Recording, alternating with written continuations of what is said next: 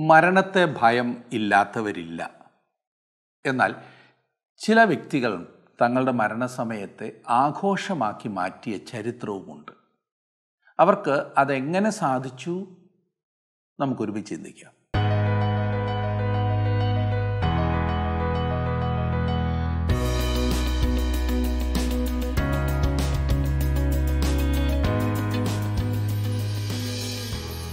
തങ്ങളുടെ പ്രിയപ്പെട്ടവരുടെ അന്ത്യ നിമിഷങ്ങളെക്കുറിച്ച് അറിയുവാൻ എല്ലാവർക്കും വളരെ ആകാംക്ഷയാണ്. അപ്പച്ചൻ എന്താണ് അവസാനമായി പറഞ്ഞത്? അമ്മച്ചി ആരുടെ പേരാണ് അവസാനമായി വിളിച്ചത്? അവർ മരിക്കുമ്പോൾ ആരാണ് കൂടെ ഉണ്ടായിരുന്നത്? ഇങ്ങനെ പോകുന്നു ആ അന്വേഷണം. ഇന്ന് പിന്നെ മിക്കവാറും മരണങ്ങൾ ഐ സിയുവിലും അതും വെന്റിലേറ്ററുകളിലും ആയതിനാൽ അവസാനം പറഞ്ഞ എന്താകുന്നു എന്ന് അധികം ആർക്കും അറിയില്ല. നവീകരണത്തിന്റെ പിതാവായ മാർട്ടിൻ ലൂതർ തന്റെ മരണസമയത്ത് പറഞ്ഞത് ശ്രദ്ധേയമാണ്. അദ്ദേഹം പറഞ്ഞു നമ്മുടെ ദൈവത്തിലത്ര രക്ഷ കർത്താവിലത്രേ നാം മരണത്തെ അതിജീവിക്കുന്നത് എന്ന്. ജോൺ നോക്സ് എന്ന ഭക്തൻ തന്റെ മരണസമയത്ത് പറഞ്ഞു ക്രിസ്തുവിൽ ജീവിക്കുക ക്രിസ്തുവിൽ മരിക്കുക മരണത്തെ ഭയക്കേണ്ടതില്ല എന്ന്. ക്രിസ്ത്യ സഭയിലെ ആദ്യത്തെ രക്തസാക്ഷിയായ സ്തേഫാനോസ് തന്റെ മരണസമയത്ത് പറഞ്ഞത് നമുക്കൊക്കെ അറിയാം. അദ്ദേഹം പറഞ്ഞു കർത്താവേ അവർക്ക് ഈ പാപം നിർത്തരുതേ എന്ന്. അതിക്രൂരമായ പീഡനത്തിലൂടെ കടന്നു പോയിട്ടും സ്തേഫാനോസിന് അങ്ങനെ പറയുവാൻ കഴിഞ്ഞത് എങ്ങനെ? ഒരാൾ ജീവിച്ച ജീവിതത്തെ അളക്കുവാൻ കഴിയുന്നതാണ് അയാളുടെ മരണസമയം. ഓർക്കണം. ജീവിതത്തിന്റെ അളവുകോൽ ആണ് ഈ മരണസമയമെന്ന് പറയുന്നത്. അതിക്രൂരവും നിന്ദ്യവുമായ പീഡനങ്ങളിലൂടെ കടന്നുപോയിട്ടും ക്രിസ്തു മരിക്കുമ്പോൾ എത്ര ശാന്തനായിരുന്നു എന്ന് ശ്രദ്ധിച്ചിട്ടുണ്ടോ? ആ അന്ത്യനിമിഷങ്ങളിൽ അവന്റെ അധരത്തിൽ നിന്നും വന്നത് ധൈര്യം പകരുന്ന ക്ഷമിക്കുന്ന സ്നേഹനിർഭരമായ വാക്കുകളായിരുന്നു. അവിടുന്ന് ഒടുവിലായി മൊഴിഞ്ഞത് തന്നെ പിതാവേ ഞാൻ എന്റെ ആത്മാവിനെ തൃക്കൈയിലേൽപ്പിക്കുന്നു എന്നായിരുന്നു. സംതൃപ്തിയുടെ വിശ്വാസത്തിന്റെ ഉറപ്പിന്റെ സ്നേഹത്തിന്റെ വാക്കുകൾ. തന്റെ വിലപ്പെട്ട ആത്മാവിനെ താൻ ഭരമേൽപ്പിക്കുന്നത് തന്റെ സ്വന്തം പിതാവിന്റെ കരങ്ങളിലേക്ക് എന്നുള്ള നിശ്ചയം കർത്താവിനുണ്ടായിരുന്നു. എന്തുകൊണ്ട് കർത്താവിന് ആ ഉറപ്പുണ്ടായിരുന്നു എന്ന് ചിന്തിക്കുന്നത്? ഏതൊരാളുടെയും മരണസമയത്തെ നേരിടുവാൻ അവരെ പ്രാപ്തരാക്കുന്ന ചിന്തയാണ്. തന്നെ ഏൽപ്പിച്ച ദൗത്യം നിറവേറ്റിക്കഴിഞ്ഞ് താൻ തന്റെ പിതാവിന്റെ സന്നിധിയിൽ എത്തുവാൻ പോകുന്നു എന്നതാണ് ഒരു വസ്തുത. പന്ത്രണ്ട് മണിക്കൂറിലേറെ ക്രൂരമായ പീഡനത്തിലൂടെ കർത്താവ് കടന്നുപോയി. ഇനിയും തന്റെ ആത്മാവിനെ സ്നേഹവാനായ പിതാവിന്റെ കരങ്ങളിൽ ഏൽപ്പിക്കുക വഴി തന്റെ സകല ദുരിതങ്ങളും തീരുന്നു എന്ന ഉറപ്പ്. അത് മാത്രമല്ല പിതാവായ ദൈവത്തിലുള്ള പുത്രന്റെ തികഞ്ഞ സമർപ്പണമാകുന്നു. ഈ വാക്കുകളിൽ പ്രതിഫലിക്കുന്നത്. അവന്റെ ജീവിതം മുഴുവനും പിതാവിന്റെ ഹിതം ചെയ്യണം എന്ന ലക്ഷ്യം മാത്രമായിരുന്നു. ഇന്നും കർത്താവിൽ മരിക്കണം എങ്കിൽ കർത്താവിൽ ജീവിക്കണം. കർത്താവിൽ ജീവിക്കാതെ ആർക്കും കർത്താവിൽ മരിക്കുവാൻ സാധിക്കില്ല. കർത്താവിൽ ജീവിക്കണമെങ്കിൽ കർത്താവിൽ നാം ജനിക്കണം. വീണ്ടും ജനനം പ്രാപിക്കണം. കർത്താവ് നിവൃത്തി കെട്ടിട്ട് തന്റെ ജീവൻ വേണ്ട എന്ന് വെക്കുകയായിരുന്നില്ല. അത് ശ്രദ്ധിച്ചിട്ടുണ്ടോ? അവൻ സ്വമനസാലെ തന്റെ ആത്മാവിനെ ഏൽപ്പിച്ചു കൊടുക്കുകയായിരുന്നു. അവന് അതിന് ഒരുക്കമായിരുന്നു. കർത്താവിന്റെ ഈ വാക്കുകൾ ക്രിസ്തുവിൽ വിശ്വസിക്കുന്നവരുടെ ആത്മാക്കളുടെ നിത്യമായ സുരക്ഷയെയാണ് കാണിക്കുന്നത്. ദൈവമക്കളുടെ ആത്മാക്കൾ ദൈവകരങ്ങളിൽ സുരക്ഷിതമാണ്. മരണസമയത്ത് അതോർത്ത് യാതൊരു ഭയവും വേണ്ട. ദൈവം ക്ഷമിച്ചിട്ടില്ലാത്ത ഏതെങ്കിലും പാപം ഞാൻ അറിയാതെ എന്റെ ജീവിതത്തിൽ ഉണ്ടോ എന്ന് പലരും ജീവിതാവസാനത്തിൽ ആശങ്കപ്പെടുന്നത് കണ്ടിട്ടുണ്ട്. നാം മനഃപൂർവമായി ഏറ്റുപറഞ്ഞിട്ടുള്ള സകല പാപങ്ങളും നമ്മോട് ക്ഷമിച്ച് നിത്യഭവനത്തിൽ തന്നോടൊപ്പം നമ്മെ ചേർക്കുവാൻ ദൈവം തയ്യാറാണ്. തന്റെ പിതാവിന്റെ അടുത്തേക്കാണ് പോകുന്നത് എന്നുറപ്പുള്ളവർക്ക് ഒരിക്കലും മരണത്തെ ഭയപ്പെടേണ്ടി വരില്ല. ഇവിടെ വിട്ടിട്ട് പോകേണ്ടതിനെ ഓർത്ത് ആകുലപ്പെടേണ്ടതുമില്ല. അത് തന്നെയാണ് നാം ഇന്നിപ്പോൾ ചിന്തിക്കുവാൻ പോകുന്നത്. ലൂക്കോസിന്റെ സുവിശേഷം ഇരുപത്തിമൂന്നാം അധ്യായത്തിന്റെ നാൽപ്പത്തി മൂന്നാം വാക്യം വരെ നാം പഠിച്ചു കഴിഞ്ഞിരുന്നു. ഇന്ന് ലൂക്കോസിന്റെ സുവിശേഷം ഇരുപത്തിമൂന്നാം അധ്യായത്തിന്റെ നാൽപ്പത്തി നാല് മുതൽ ഇരുപത്തിനാലാം അധ്യായത്തിന്റെ പന്ത്രണ്ട് വരെയുള്ള വാക്യങ്ങൾ നാം ഒരുമിച്ച് പഠിക്കുവാൻ പോവുകയാണ് ഭാഗം ഒന്ന് എടുത്താട്ട് നമുക്കൊരുമിച്ചത് വായിക്കുകയും പഠിക്കുകയും ചെയ്യാം.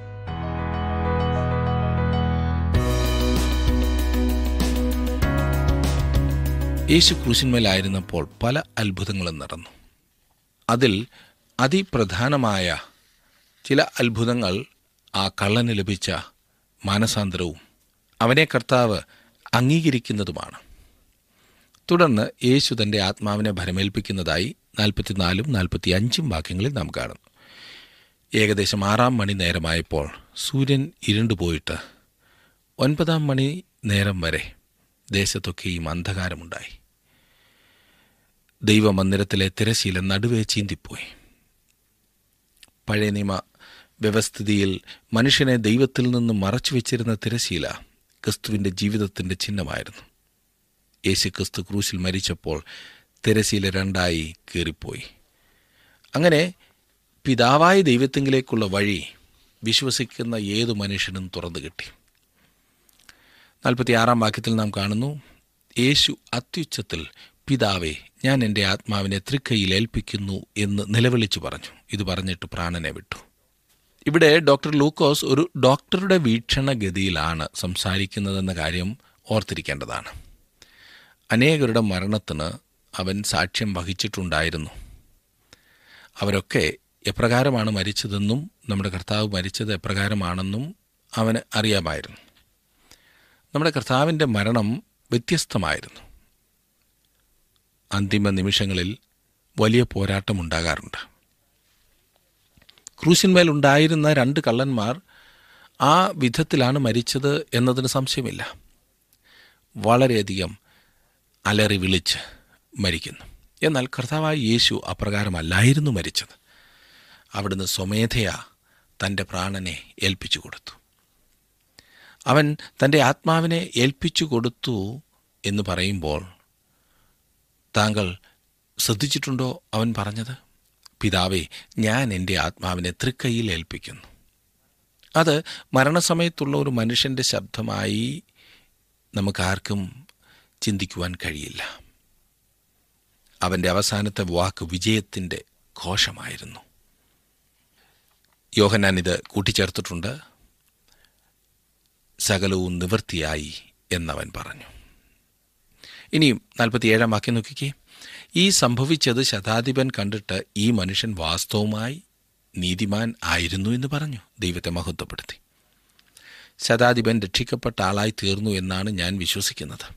ക്രിസ്തുവിനെ ക്രൂശിക്കുന്നതിന്റെ ചുമതല അയാൾക്കായിരുന്നു ഉണ്ടായിരുന്നത്. ക്രൂശിന്റെ ചുവട്ടിൽ നിന്നുകൊണ്ട് അയാൾ മുകളിലേക്ക് നോക്കി. അസാധാരണമായ എന്തോ സംഭവിക്കുന്നത് അയാൾ കണ്ടു. അയാൾ ദൈവത്തെ മഹത്വപ്പെടുത്തി. ക്രിസ്തു നീതിമാനായ മനുഷ്യനായിരുന്നു എന്ന് അവൻ കണ്ടു.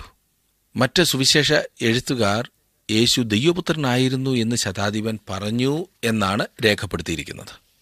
ശതാധിപൻ ആ ക്രൂശിന്റെ കീഴിൽ നിൽക്കുകയാണ്. അവൻ യേശുക്രിസ്തുവിന്റെ മരണത്തെയും ഉയർത്തെഴുന്നേൽപ്പിനെയും കുറിച്ച് യാതൊന്നും അറിയാത്തവനായിരുന്നു.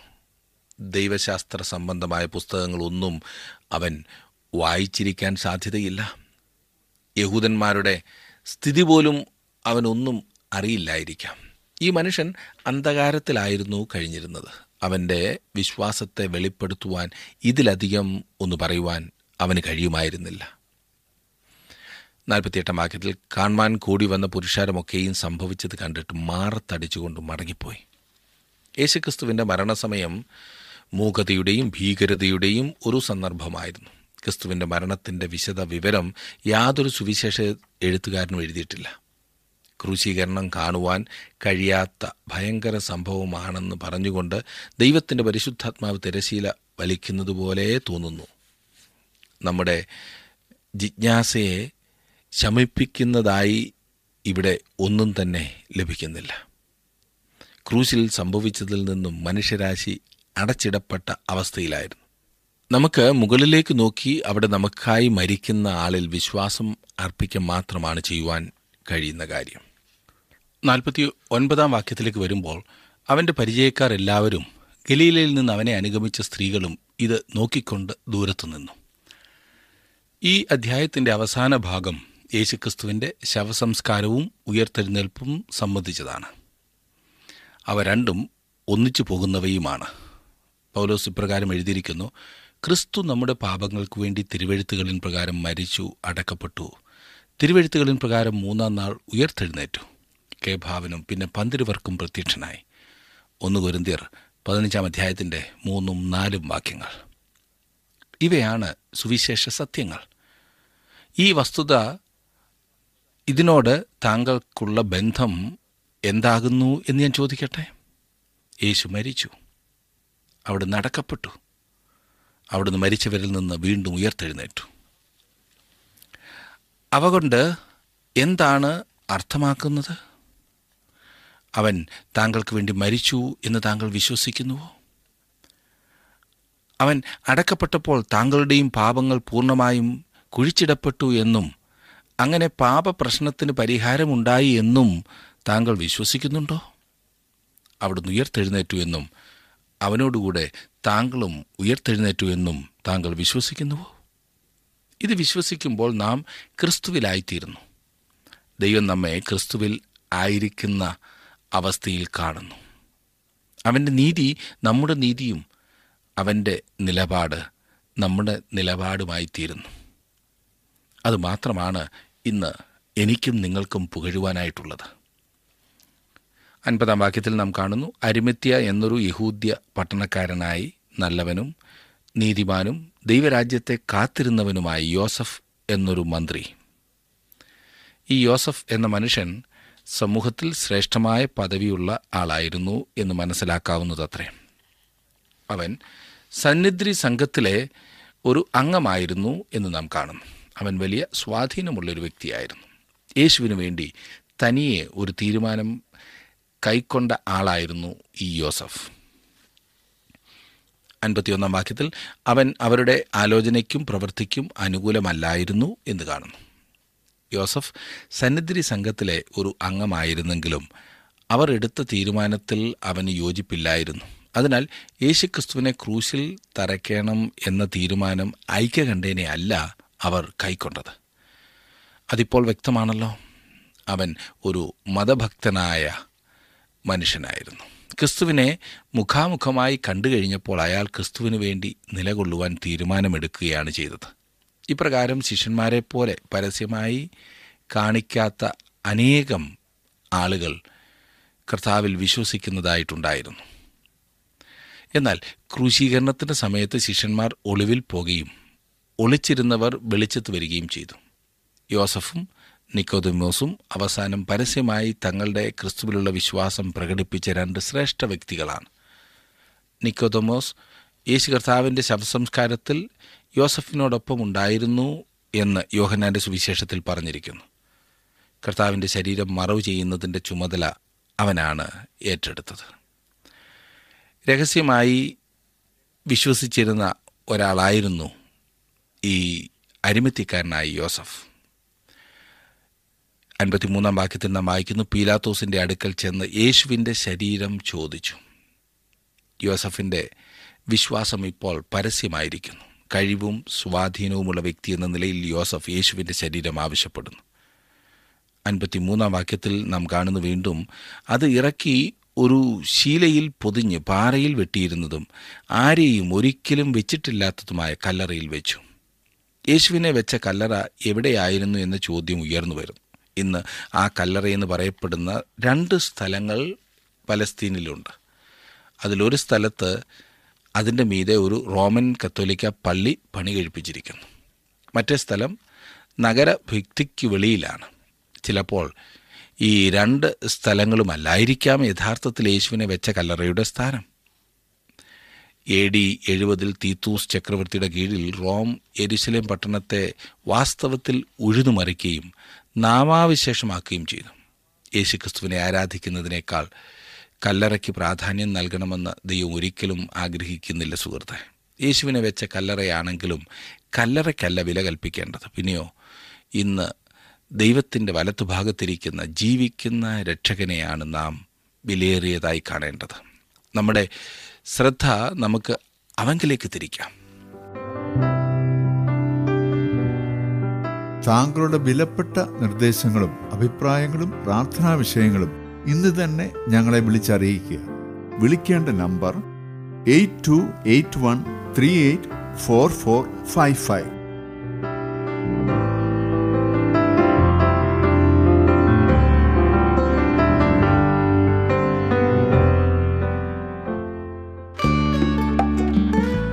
ഇന്നത്തെ പ്രോഗ്രാം താങ്കൾക്ക് ഇഷ്ടപ്പെട്ടുവോ?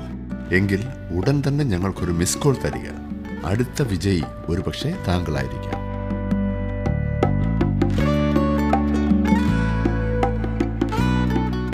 അൻപത്തിനാല് മുതലുള്ള വാക്യങ്ങളിൽ അന്ന് ഒരുക്കനാളായിരുന്നു ശബത്തും ആരംഭിച്ചു. ഗലീലയിൽ നിന്ന് അവനോടുകൂടെ പോന്ന സ്ത്രീകളും പിന്നാലെ ചെന്നു. കല്ലറിയും അവന്റെ ശരീരം വെച്ച വിധവും കണ്ടിട്ട് മടങ്ങിപ്പോയി. സുഗന്ധവർഗവും പരിമള തൈലവും ഒരുക്കി. കൽപ്പനയനുസരിച്ച് ശബത്തിൽ സ്വസ്ഥമായിരുന്നു. ഈ വിശ്വസ്തരായ സ്ത്രീകളുടെ ചെറിയ കൂട്ടം യേശുവിനോടൊപ്പം അവസാനത്തോളം ഉണ്ടായിരുന്ന ഒരു കൂട്ടം. യേശു മരിച്ചത് ഏത് ദിവസമാണെന്ന് അതായത് യേശു നമ്മുടെ പാപങ്ങൾക്ക് വേണ്ടി ബുധനാഴ്ചയോ വ്യാഴാഴ്ചയോ വെള്ളിയാഴ്ചയോ മരിച്ചു എന്ന് വേദപുസ്തകം പറയുന്നില്ല. യേശു നമ്മുടെ പാപങ്ങൾക്ക് വേണ്ടി മരിച്ചു എന്ന് മാത്രമേ വേദപുസ്തകത്തിൽ പറഞ്ഞിട്ടുള്ളൂ.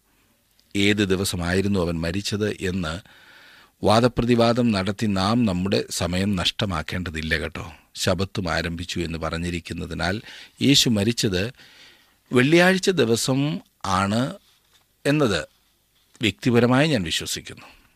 യേശുവിന്റെ ശരീരം എപ്രകാരമാണ് വെച്ചത് എന്ന് സ്ത്രീകൾ കണ്ടു. ആദ്യം രാത്രിയിൽ അവന്റെ അടുക്കൽ വന്ന നിക്കോദിമോസും ഏകദേശം നൂറ് റാത്തൽ മൂറും അകിലും കൊണ്ടുള്ള ഒരു കൂട്ട് കൊണ്ടുവന്നു. അവൻ യേശുവിന്റെ ശരീരമെടുത്ത് യഹൂദന്മാർ ശവമടക്കുന്ന മര്യാദ പ്രകാരം അതിനെ സുഗന്ധവർഗത്തോടുകൂടെ ശീല പൊതിഞ്ഞു കെട്ടി എന്ന് യോഹന്നാന്റെ സുവിശേഷത്തിൽ പറഞ്ഞിട്ടുണ്ട്. ശബത്ത് ദിവസം വിശ്രമ ദിവസമായിരുന്നതുകൊണ്ട് സ്ത്രീകൾ അന്ന് കല്ലറയ്ക്കൽ വന്നില്ല. അവർ കർത്താവിന്റെ ശരീരത്തിന്മേൽ ഇടുവാൻ സുഗന്ധവർഗവും പരിമള തൈലവും ഒരുക്കി. എന്നാൽ അവർ വന്നപ്പോഴേക്കും അവന്റെ ശരീരം കല്ലറയിൽ ഉണ്ടായിരുന്നില്ല. അവരുടെ സുഗന്ധവർഗം നഷ്ടപ്പെടുകയാണ് ചെയ്തത്. അവൻ ജീവിച്ചിരിക്കുമ്പോൾ തന്നെ ബഥാനിയിലെ മറിയ അവന്റെ ശരീരത്തിന്മേൽ പരിമള തൈലം പൂശിയ വസ്തുത നിങ്ങൾ ഓർക്കുന്നുണ്ടല്ലോ. അവൾ ആ വലിയ സത്യം മനസ്സിലാക്കിയിരുന്നു. അതാണ് ആത്മീയമായ കാഴ്ചപ്പാട് വിവേചനാശക്തി. അവൾ വിലയേറിയ സുഗന്ധവർഗം നഷ്ടമാക്കിയതിൽ വിമർശനത്തിന് വിധേയയാകുകയും ചെയ്തു. എന്നാൽ അവളുടെ സുഗന്ധവർഗം നഷ്ടമായി പോയില്ല എന്ന് ഇപ്പോൾ നിങ്ങൾക്ക് കാണുവാൻ സാധിക്കും. എന്നാൽ ഈ പ്രിയപ്പെട്ട സ്ത്രീകൾ ഒരുക്കിയ സുഗന്ധവർഗം നഷ്ടമായി. കാരണം അവർ അതുകൊണ്ട് വന്നപ്പോഴേക്കും കർത്താവ് ഉയർത്തെഴുന്നേറ്റിരുന്നു. ഇനിയും ഇരുപത്തിനാലാം അധ്യായത്തിൽ നിന്നും കൂടി ചില കാര്യങ്ങൾ നമുക്ക് ചിന്തിക്കാം. ലൂക്കോസും മത്തായി മർക്കോസ് യോഹന്നാൻ മുതലായവരെ പോലെ തന്നെയുള്ള വസ്തുതകളാണ് യേശുക്രിസ്തുവിന്റെ ഉയർത്തെഴുന്നേൽപ്പിനെക്കുറിച്ച് രേഖപ്പെടുത്തിയിരിക്കുന്നത്. ശൂന്യമായി കിടക്കുന്ന കല്ലറ സ്ത്രീകൾ കാണുന്നതായും ദൂതന്റെ വിശദീകരണം അവർ കേൾക്കുന്നതായും പിന്നീട് പത്രോസ് കല്ലറയിലേക്ക് വരുന്നതായും പറഞ്ഞിരിക്കുന്നു. നമ്മുടെ ഉയർത്തെഴുന്നേറ്റ കർത്താവ് എമ്മൗസിലേക്കുള്ള വഴിയിൽ നടക്കുന്നതായും രണ്ട് ശിഷ്യന്മാരുമായി സംസാരിക്കുന്നതിനെക്കുറിച്ചും ലൂക്കോസ് മാത്രമേ രേഖപ്പെടുത്തിയിട്ടുള്ളൂ. മാളിക മുറിയിൽ വെച്ച് പത്ത് ശിഷ്യന്മാർക്ക് അവൻ പ്രത്യക്ഷനായതായും ലൂക്കോസ് രേഖപ്പെടുത്തിയിരിക്കുന്നു. ഈ രണ്ട് സന്ദർഭങ്ങളിലും കർത്താവ് തന്റെ മരണത്തെയും ഉയർത്തെഴുന്നേൽപ്പിനെയും വിശദീകരിക്കുവാൻ തിരുവഴുത്തുകൾ ചൂണ്ടിക്കാണിച്ചു എന്നുള്ളതാണ് ഏറ്റവും പ്രധാനപ്പെട്ട കാര്യം. കർത്താവ് പരിശുദ്ധാത്മാവിനെ അയക്കും എന്ന വാഗ്ദത്വത്തെക്കുറിച്ചും തനിക്കുള്ളവരെ അനുഗ്രഹിക്കുന്ന വിധത്തിൽ അവന്റെ സ്വർഗാരോഹണത്തെക്കുറിച്ചും ലൂക്കോസ് രേഖപ്പെടുത്തിയിരിക്കുന്നു. ഞാൻ ഒന്നാം വാക്യം വായിക്കാം ഇരുപത്തിനാലാം അധ്യായത്തിന് ഒന്നാം വാക്യം. അവർ ഒരുക്കിയ സുഗന്ധവർഗമെടുത്ത് ആഴ്ചവട്ടത്തിന്റെ ഒന്നാം ദിവസം അധികാലത്ത് കല്ലറക്കിലെത്തി സ്ത്രീകൾ അവരുടെ സുഗന്ധവർഗവും കൊണ്ടുവന്നു. ജീവിച്ചിരുന്നപ്പോൾ കർത്താവിന്റെ ദേഹത്ത് പരിമളവർഗം പൂശിയതിന് ബഥാനിയിലെ മറിയെ കുറ്റപ്പെടുത്തിയ ആ സംഭവം നിങ്ങൾ ഓർക്കുന്നുണ്ടല്ലോ. താങ്കൾ ഈ വിലയേറിയ തൈലം നഷ്ടപ്പെടുത്തുന്നത് എന്തിന് എന്ന് അന്ന് അവളോട് ചോദിച്ചിരുന്നവർ ഇപ്പോൾ എന്തായിരിക്കും മറുപടി പറയുന്നത്? എന്നാൽ അവൾ ഒരുക്കിയ തൈലം നഷ്ടമായിരുന്നില്ല. ഈ സ്ത്രീകൾ കൊണ്ടുവന്ന സുഗന്ധവർഗം ഉപയോഗപ്പെട്ടില്ല. അത് നഷ്ടപ്പെട്ടു പോയി എന്നാണ് ഞാൻ കരുതുന്നത്. സ്ത്രീകൾ അത്ഭുത പരതന്ത്രരായി ഒരുപക്ഷെ സുഗന്ധവർഗം കല്ലറയിൽ ഉപേക്ഷിച്ചിട്ട് അവർ ഓടിക്കാണും. രണ്ടാം വാക്യത്തിൽ നാം കാണുന്നു കല്ലറയിൽ നിന്ന് കല്ലുരുട്ടിക്കളഞ്ഞതായി കണ്ടു. കർത്താവിന് പുറത്തു വരുവാനല്ല അവർക്കകത്ത് കടക്കുവാനായിട്ടാണ് കല്ല് ഉരുട്ടിക്കളഞ്ഞിരുന്നത്. കർത്താവിന് വെളിയിൽ വരുവാൻ കല്ല് ഒരു തടസ്സമായിരുന്നില്ല. അവർ അകത്ത് കടന്നാറെ കർത്താവായ യേശുവിന്റെ ശരീരം കണ്ടില്ല എന്ന് മൂന്നാം വാക്യത്തിൽ കാണുന്നു. അവൻ പൊയ്ക്കഴിഞ്ഞിരുന്നു അവൻ ഉയർത്തെഴുന്നേറ്റു. എത്ര മനോഹരമായ ഒരു പ്രസ്താവനയില്ലേ? അവന്റെ ശരീരം അവർ കണ്ടില്ല എന്ന്. നാല് മുതൽ എട്ട് വരെയുള്ള വാക്യങ്ങൾ ഞാനൊന്ന് വായിക്കാം. അതിനെക്കുറിച്ച് അവർ ചഞ്ചലിച്ചിരിക്കുമ്പോൾ മിന്നുന്ന വസ്ത്രം ധരിച്ച് രണ്ട് പുരുഷന്മാർ അരികെ നിൽക്കുന്നത് കണ്ടു. ഭയപ്പെട്ടു. മുഖം കുനിച്ചു നിൽക്കുമ്പോൾ അവർ അവരോട് നിങ്ങൾ ജീവനുള്ളവനെ മരിച്ചവരുടെ ഇടയിൽ അന്വേഷിക്കുന്നതെന്ത്? അവൻ ഇവിടെയില്ല ഉയർത്തെഴുന്നേറ്റിരിക്കുന്നു. മുമ്പേ ഗലീലയിൽ ഇരിക്കുമ്പോൾ തന്നെ അവൻ നിങ്ങളോട് മനുഷ്യപുത്രനെ പാപികളായ മനുഷ്യരുടെ കയ്യിൽ ഏൽപ്പിച്ച് ക്രൂശിക്കുകയും അവൻ മൂന്നാം നാൾ ഉയർത്തെഴുന്നേൽക്കുകയും എന്ന് പറഞ്ഞത് ഓർത്തുകൊള്ളുവീൻ എന്ന് പറഞ്ഞു. അവർ അവന്റെ വാക്ക് ഓർത്തു. നിങ്ങൾ ജീവനുള്ളവനെ മരിച്ചവരുടെ ഇടയിൽ അന്വേഷിക്കുന്നത് എന്ത് ഇതൊരു നല്ല ചോദ്യമായിരുന്നില്ലേ? സ്ത്രീകൾ എന്തിനാണ് വന്നത്? പത്രോസും യോഹന്നാനും കല്ലറയ്ക്കൽ എന്തിനാണ് ഓടിയെത്തിയത്? അവർ മരിച്ചവനെ മരിച്ചവരുടെ ഇടയിൽ അന്വേഷിക്കുകയായിരുന്നു. അവർ ജീവനുള്ളവനെ അന്വേഷിക്കുകയല്ലായിരുന്നു ചെയ്തത്. കർത്താവായ യേശുക്രിസ്തു മരിച്ചവരിൽ നിന്നും ഉയർത്തെഴുന്നേറ്റ് വരുമെന്ന് അവർ വിശ്വസിച്ചിരുന്നില്ല. ഓരോ സുവിശേഷ എഴുത്തുകാരനും ഉയർത്തെഴുന്നേൽപ്പിന്റെ വിവിധ വശങ്ങൾക്കാണ് പ്രാധാന്യം കൊടുത്തുകൊണ്ട് എഴുതിയിരിക്കുന്നത്. സ്ത്രീകൾ കല്ലറയിലേക്ക് വരുന്ന കാര്യം പറഞ്ഞുകൊണ്ടാണ് ലൂക്കോസ് എഴുതുന്നത്. ദൂതന്മാർ ഓർമ്മപ്പെടുത്തിയപ്പോൾ യേശു പറഞ്ഞിരുന്ന വാക്കുകൾ സ്ത്രീകൾക്ക് ഓർമ്മ വന്നു. ചിലപ്പോൾ ചില കാര്യം തികച്ചും ശരിയാണെന്ന് തോന്നുന്ന കാര്യം നിങ്ങൾ കേട്ടു എന്ന് വരാം. എന്നാൽ അത് നിങ്ങൾ വിശ്വസിച്ചെന്ന് വരികയില്ല. അപ്രകാരമാണ് ഇന്ന് അനേകം ആളുകളും ദൈവവചനത്തോട് ചെയ്യുന്നത്. സുവിശേഷങ്ങളുടെ എഴുത്തുകാർ എല്ലാവരും യേശു തന്റെ ശിഷ്യന്മാരോട് താൻ എരുസലേമിൽ മരിപ്പാൻ പോകുന്നു എന്നും മൂന്നാം നാൾ ഉയർത്തെഴുന്നേൽക്കുമെന്നും വീണ്ടും വീണ്ടും പറഞ്ഞതായി വ്യക്തമാക്കിയിരിക്കുന്നു. അവൻ പറഞ്ഞത് അവർ കേട്ടു എന്നാൽ അവർ വാസ്തവത്തിൽ അത് വിശ്വസിച്ചില്ല. ഇന്നും നമുക്കൊക്കെയുള്ള പരാജയം ഇതുതന്നെയാണല്ലോ നാം കേൾക്കുന്നുണ്ട് എന്നാൽ വിശ്വസിക്കുവാൻ കഴിയുന്നില്ല. ഞാൻ പറയട്ടെ വിശ്വാസം മാത്രമാണ്. നമ്മെ അനുഗ്രഹത്തിലേക്ക് നയിക്കുന്ന ആ ഒന്നാമത്തെ പടി. വിശ്വസിക്കുക. ദൈവവചനം വിശ്വസിക്കുക. നാം എന്തെല്ലാം വിശ്വസിക്കുന്നുണ്ട്? ദൈവത്തെ വിശ്വസിക്കുവാൻ സാധിക്കുന്നുണ്ടോ? ഒൻപതും പത്തും വാക്യങ്ങളിൽ കല്ലറ വിട്ട് മടങ്ങിപ്പോയി പതിനൊരുവർ മുതലായ എല്ലാവരോടും ഇതൊക്കെയും അറിയിച്ചു. അവർ ആരെന്നാൽ? മഗ്നലക്കാരത്തി മറിയ യോഹന്ന യാക്കോബിന്റെ അമ്മ മറിയ എന്നിവർ തന്നെ. അവരോടുകൂടെയുള്ള മറ്റ് സ്ത്രീകളും ഇത് അപ്പസ്തോലന്മാരോട് പറഞ്ഞു. സ്ത്രീകൾ തങ്ങളോട് പറഞ്ഞ കാര്യം അപ്പസ്തോലന്മാർക്ക് താല്പര്യമുണ്ടാക്കി എന്ന് നിങ്ങൾ ചിന്തിച്ചേക്കാം. അവരുടെ പ്രതികരണം ശ്രദ്ധിക്കുക പതിനൊന്നാം വാക്യം. ഈ വാക്ക് അവർക്ക് വെറും കഥ പോലെ തോന്നി. അവരെ വിശ്വസിച്ചില്ല. ഈ സ്ത്രീകൾ വിശ്വസനീയമായ സാക്ഷ്യങ്ങൾ ആകുന്നു പറയുന്നതെന്ന് അവരുടെ സാക്ഷ്യം അംഗീകരിക്കപ്പെടണമെന്ന് ഒരുപക്ഷെ താങ്കൾ കരുതിയേക്കാം.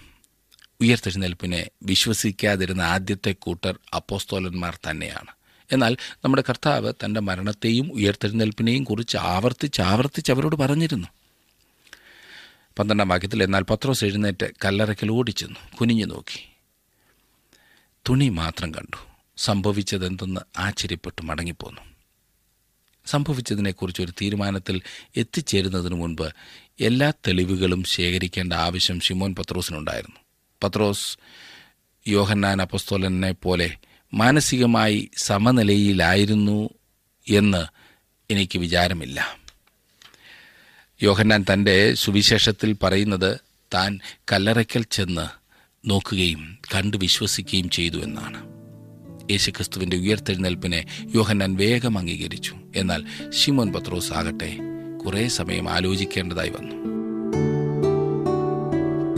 ഇന്നത്തെ ഈ അതിമഹത്തായ ഭാഗം നിങ്ങൾക്ക് ഏറെ പ്രയോജനം ചെയ്തു എന്ന് ഞാൻ വിശ്വസിക്കട്ടെ. നമ്മുടെ കർത്താവിന്റെ മരണ പുനരുത്ഥാനം. അതാണ് നമ്മുടെ ക്രിസ്ത്യ ജീവിതത്തിന് ശക്തി പകരുന്നത്. അതാണ് നമ്മുടെ ജീവിതത്തിന് അർത്ഥം നൽകുന്നത്. ലക്ഷ്യമുണ്ടാക്കുന്നത് നിങ്ങളുടെ ഓരോരുത്തരുടെയും ജീവിതം അർത്ഥമുള്ളതായി തീരുവാൻ ലക്ഷ്യമുള്ളതായി തീരുവാൻ മരണത്തെ ഭയപ്പെടാതെ മുൻപോട്ട് പോകുവാൻ ദൈവം നിങ്ങളെ സഹായിക്കേണ്ടതിനായി ഞാൻ പ്രാർത്ഥിക്കുന്നു. നമുക്ക് പ്രാർത്ഥിക്കാം. കർത്താവെ അവിടുന്ന് ഞങ്ങളുടെ ഓരോ നിമിഷവും അവിടുത്തെ കരങ്ങളിൽ സുരക്ഷിതമായി വെച്ചിരിക്കുന്നത് ഓർത്തു സ്തോത്രം. കർത്താവെ ഞങ്ങൾ ഈ ഭൂമിയിൽ നിന്നും മരണത്താൽ വേർപെട്ട് അവിടുത്തെ സന്നിധിയിൽ വരുന്നവരാകുന്നു എന്നുള്ള ഉറപ്പ് ഞങ്ങൾക്ക് തരണമേ. മരണത്തെ ഭയപ്പെടാതെ മുൻപോട്ട് പോകുവാൻ. നീ മരണത്തെ അഭിമുഖീകരിച്ചതുപോലെ ഞങ്ങളുടെ ജീവിതാനുഭവങ്ങളിൽ ഞങ്ങളുടെ എല്ലാ സാഹചര്യങ്ങളെയും പ്രത്യേകിച്ച് അന്ത്യനിമിഷങ്ങളെയും അഭിമുഖീകരിക്കുവാൻ എല്ലാവർക്കും ദൈവകൃപ നൽകണമേ. ഇന്ന് ഈ വചനം കേട്ട എല്ലാവരെയും അവിടുന്ന് അനുഗ്രഹിക്കണമേ. യേശു ക്രിസ്തുവിന്റെ നാമത്തിൽ തന്നെ. ആമേൻ. ദൈവം നിങ്ങളെ സമൃദ്ധിയായി അനുഗ്രഹിക്കുമാറാകട്ടെ.